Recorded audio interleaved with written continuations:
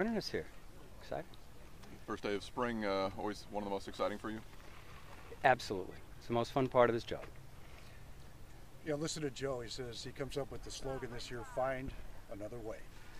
When you heard about that, what did you think about that slogan? Well, I think that's our mantra all the time. We're always trying to find another way.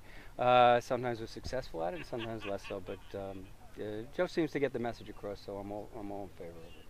What are your expectations? You know, you, you've lost so many players, you've brought in so many strangers. I mean, do you expect to be a, a good baseball team I expect us to be very competitive. Uh, no different than the last few years. Um, I think a lot of it has to do with you know where you're coming from. When we were very competitive in 2008, the expectations were very low. When uh, we were competitive in 2009, the, the expectations were higher.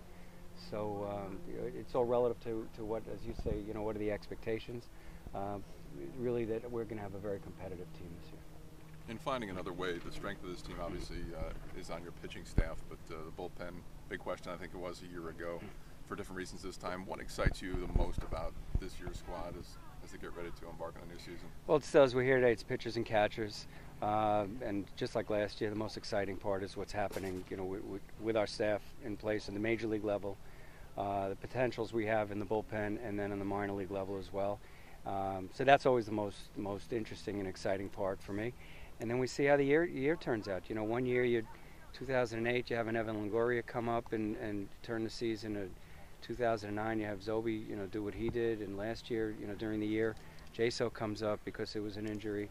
Uh, and I know I'm missing other guys, but um, you know, you, you find guys like that, and you, well, you can't plan on it. The expectation is we have enough irons in the fire here with some really talented people that some good things are going to happen. It's challenging enough with half of the roster uh, made over. And you only have half of the 40-man roster coming back, but yet to do it in the American League East, even more challenging. Yeah, look, uh, some of it's by design, and some of it uh, things are out of our control, and, and uh, as they say, you, you, that's the hand you dealt. Uh, it wasn't a surprise, so uh, we were preparing for this, and we have been preparing. And uh, the important thing is to know what you look like, not just today, but a year from now, two years from now, and how you react to change. And uh, while it's very challenging, and it's been an extremely challenging off season, uh, all the preparation we did, and I think the work we did in the off season, uh, I couldn't be happier with. Andrew, you, excuse me, Stu, what do you think that what Andrew has done in his past performance and what he's been able to bring in, does that relieve a little bit of anxiety knowing that you've got a lot of new faces in here and not knowing exactly what to expect? Yeah, I'm not a real anxious guy. I wouldn't know if anxiety ever plays into it, but uh, I've had confidence in Andrew and our process from day one. Uh, fortunately, uh, other people and the fans and followers have a lot of confidence in what we're doing as well. And uh, not that anybody should or would cut us a break, but just have some faith that uh, you know we're, we're, we're trying to do things in the best way we can. How do you, from your owner's perspective, enjoy the challenge of this American League East, knowing what you face and all, all those? Well, it's, it's great when you beat them. uh, it, it's you know like any it, it, the tougher the you know the tougher the road in a sense, it makes it more rewarding. Winning the American League East two out of three years, uh, you know we still pinch ourselves a little bit that it happened, um, and we're going to continue and, and, try to do it again this year. Uh, but I think that uh, I'd like it to be easier. There's no question about it. But when you do it it's much more rewarding, certainly. Is it harder to get there, when the East, versus staying there? It's always harder to. It, it's just harder. It, every year, so those 162 games are. Um, every one of them is hard, uh, especially when you're playing the number of games you play against the teams we do in the East and throughout the American League as well. Stu, I mean, you guys have made a point of showing how payroll doesn't necessarily correlate to talent, and you know that's how you still build a team for less money. On the other hand, the payroll cut ended up being around 40% or so. I mean, was that more than, than you anticipated, and, and is there you know someone to blame for that? Uh, there's no, there's nobody to blame. Uh, this is our situation. As far as cutting it, you know, 40%, 30, 60, we were we were dramatically inflated both last year and the year before relative to our means.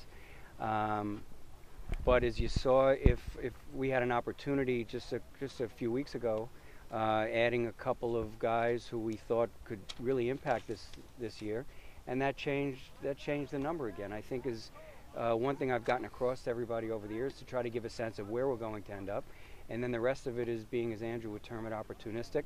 Um, I, I, do think that you know what we saw with the bullpen arms this year made things more difficult, um, and you know, quite frankly, uh, you know, didn't give us the opportunity to spend the money or spend money that you know maybe like we would have liked to. But in absence of that, we tried to do whatever else we could around it. We added a couple of uh, we thought very quality bullpen arms, um, and remains to see how they'll they'll turn out.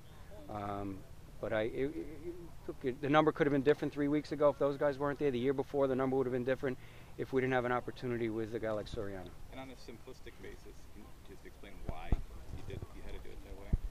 Why you Do had it- cut it? Wha- Size why? of market, attendance. We, we, we lost a ton of money the last couple of years. You, you can't go on very long doing that. And uh, look, we, we, I guess, I suppose we, you know, I, we could have spent a lot more this year.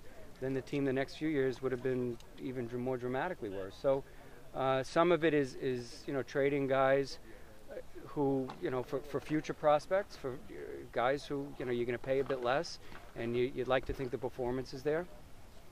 But as far as blame, there's no blame or anything. And certainly, if our revenues were higher, if the uh, if the situation were different throughout Major League Baseball, we would have more to spend. I'd be thrilled to do it.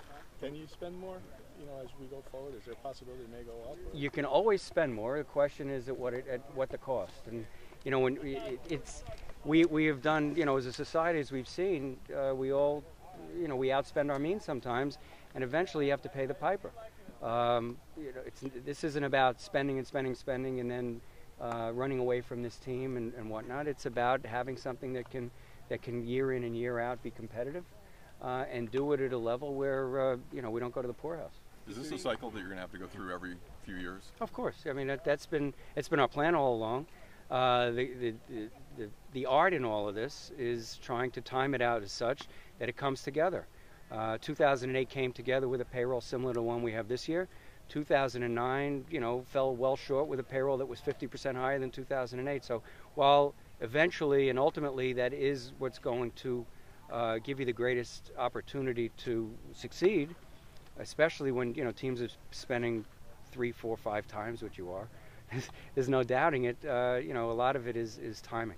Is the new stadium the only relief that you see in the, the future?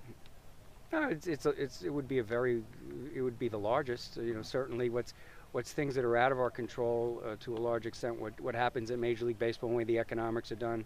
Um, you know, whether it's revenue sharing or competitive. You know, us playing in the East, uh, an extra playoff spot. You know, there are a lot of things on the edges and significantly to do. But you know, obviously the stadium is. Uh, you know, when and if that's going to happen would be the most significant driver. Yeah, would you would you say that it correlates to the payroll going up? If you get a new stadium, automatically you reassess how you uh, spend the money. Well, it wouldn't be. We would just have more at our disposal. We'd have more resources. So uh, it, it should turn out better, I would guess. Is there anything new on the stadium situation? And if, if not, what does that tell you? Uh, nothing that I know of. Um, so it tells me that uh, there's nothing new. I mean, is that concerning that there, where you know it's season's a new season is starting and there hasn't been a lot of progress? It's it's something that's always a concern with me, but uh, I try to keep it, you know, to, to one or two or three people, uh, so it doesn't become a concern and a distraction for the organization.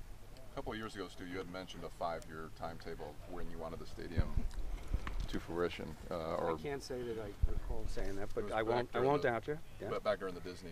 uh, My yeah, my original, uh, you know, the, the originally came in, and I just felt that we wouldn't and couldn't be here, you know, till 2027.